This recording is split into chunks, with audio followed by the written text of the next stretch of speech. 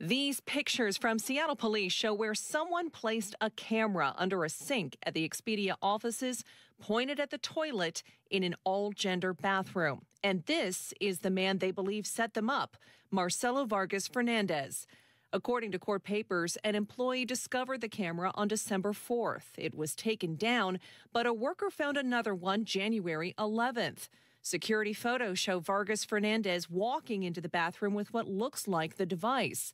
Police also tracked an Amazon order matching the camera. Authorities searched his home and car and say they found 33 additional spy cameras with multiple hard drives and SD cards.